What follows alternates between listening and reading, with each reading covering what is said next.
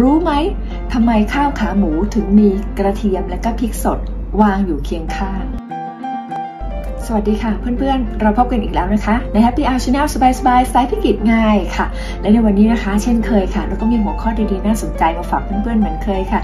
ในชื่อเรื่องว่า รู้ไหม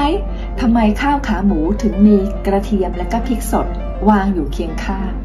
หลายคนคงจะเคยสงสัย แต่ก็ไม่รู้จะไปหาคำตอบที่ไหนใช่ไหมคะ แต่ที่นี่ค่ะใน Happy Hour Channel เรามีคำตอบให้กับทุกๆ คนค่ะ เพราะว่าเราก็สงสัยเหมือนกันค่ะว่า เอ๊ะทำไม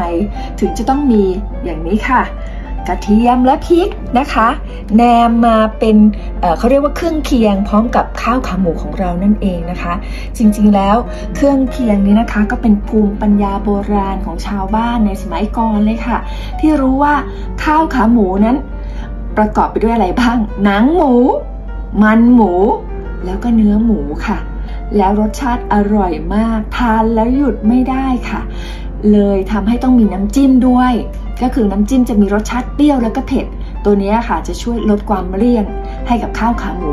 ส่วนหนึ่ง แต่ทำไมจะต้องมีพริกและกระเทียมด้วยพริกกับกระเทียมก็ช่วยลดความเลี่ยนค่ะ แต่ประโยชน์เขามีมากกว่านั้นนะคะ เพราะพริกและกระเทียมเนี้ย เป็นสมุนไพรชั้นดีเลยค่ะ เรามาดูทีละตัวกันเลยนะคะ พริกขี้หนูค่ะให้เพื่อนๆดูอีกครั้งหนึ่งนะคะ ตัวพริกขี้หนูค่ะ นี่เลยค่ะ มีสารสำคัญอย่างแคปไซซินนะคะ เป็นสารที่ไม่มีสีและไม่มีกลิ่น ละลายได้ดีในไขมันนั่นเองนะคะ แล้วก็ช่วยเกี่ยวเรื่องการเผาผลาญนะคะทำให้ลดการเกาะกลุ่มของเซลล์ไขมันในเส้นเลือดได้อย่างดีเลยค่ะ นะคะ อันนี้นะคะสำหรับพริก และก็อีกตัวหนึ่งที่เรากำลังพูดถึงอยู่นั่นคือกระเทียมค่ะ กระเทียมนั้นก็มีสารสำคัญคืออะลิซินแล้วก็อะลีอินนะคะ ตัวนี้จะเป็นตัวที่เกิดจากการรวมตัวกันของกลูโคสและก็โปรตีนนั่นเองที่ผนังหลอดเลือดทำให้ไขมันไม่ไปเกาะและขวางทางเดินของเลือดนั่นเองนะคะ เวลาทานกระเทียมเนี่ย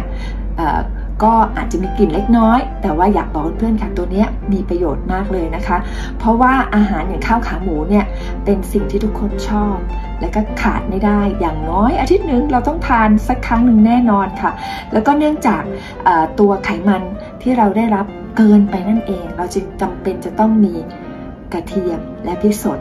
เป็นเครื่องเคียงพร้อมกับข้าวขาหมูค่ะเพื่อนๆเป็นไงคะ ข้าวขาหมูของเราวันนี้ รู้สึกว่าจะทานแล้วอร่อยกว่าเดิมค่ะ เพราะว่ากล้าทานได้มากขึ้น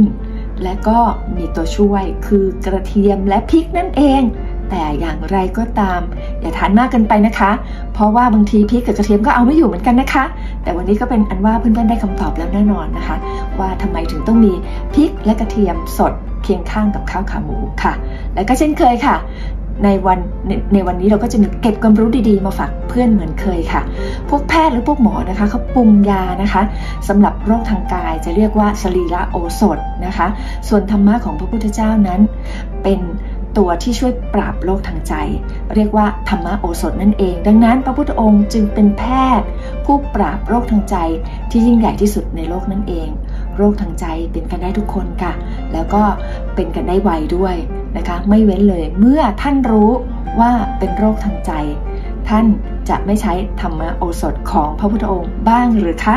ค่ะ ก็อย่าลืมนะคะ กดไลค์กดแชร์และกดติดตามอย่าลืมกดกระดิ่งค่ะ เพื่อจะได้ไม่พลาดคลิปดีๆของเราค่ะ แล้วพบกันครั้งหน้าค่ะบ๊ายบายค่ะ